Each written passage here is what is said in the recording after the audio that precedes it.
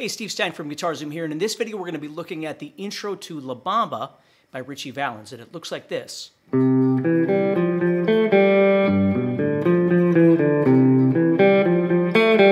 So let's look at that. We start off with a C shape, C chord, then we go to an F chord, then we go to a G chord. So with the C, we're playing 3, 2, 0, and then we're going to the third fret of the fourth string and playing that twice, and then playing 2 0 on the third string.